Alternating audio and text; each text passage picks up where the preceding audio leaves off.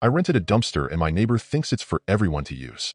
I rented a dumpster for some upcoming landscaping and construction projects.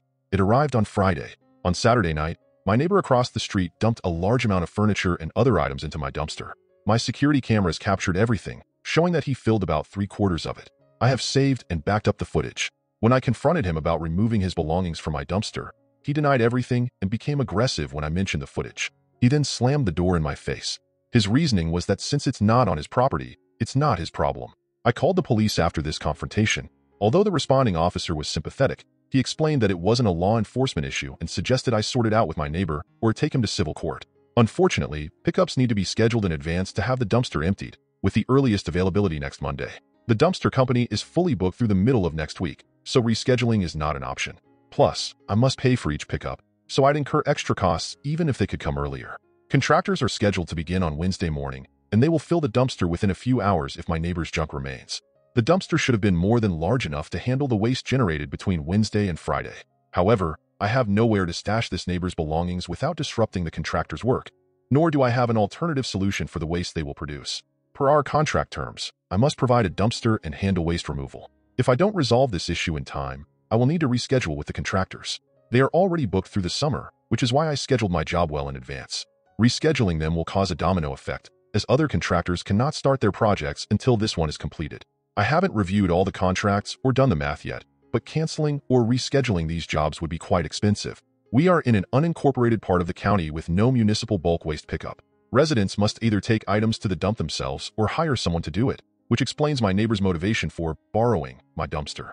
I would be willing to haul his junk away and take him to small claims court to recoup my expenses, but I've explored countless options and none can complete the job within the necessary time frame. My expenses will be significant enough to take this well outside of small claims territory if it doesn't get sorted ASAP.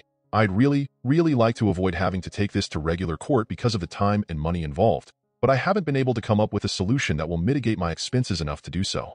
The only thing I can think of at this point is tossing this guy's trash in his driveway and hoping that it doesn't wind up starting World War III.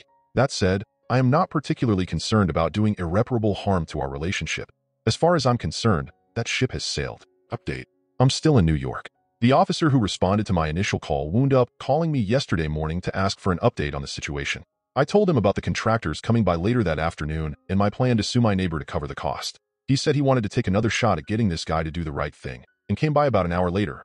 The neighbor's wife actually wound up answering the door this time, and it seems like her husband had told her a very different story about the situation. Long story short, she came over to apologize and told me that her husband and son would start clearing their shit out within the hour, and she was true to her word. I called the contractor once the dumpster was nearly empty to let him know everything had been sorted out so he wouldn't have to spare a few guys to deal with it, and he was happy to hear that as well. The neighbor's wife actually came by again with a huge plate of homemade cookies as a peace offering a couple of hours later, which was very much appreciated.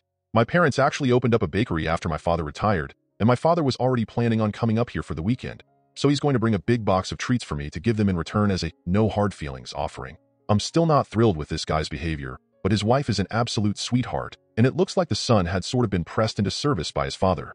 I'd rather maintain a decent relationship with my neighbors, if possible either way. As of now, I've got a crew of guys working in my garage, and they are absolutely bumping some bachata, which makes me feel like I'm back home in the Bronx, but with a much bigger backyard. All in all, it seems like things have been completely and amicably resolved. Thank you to everyone who commented on my original post with suggestions. Relevant comment. Commenter, if I could speculate wildly for a moment, my guess is that her husband has been putting off taking care of that stuff for some time, and when the dumpster showed up he thought it was an easy opportunity to look good without actually doing much. Probably either told her he'd finally taken it to the dump, or that the neighbor agreed to let him use the dumpster. OP, you're pretty much spot on here. She said it had been sitting in their garage forever, and that he told her that I gave him permission to toss it in the dumpster provided he did so at a time that wouldn't get in the way of anything. Don't know whether or not she was aware that he'd chosen the middle of the night as his non-interference time, but that can be his problem.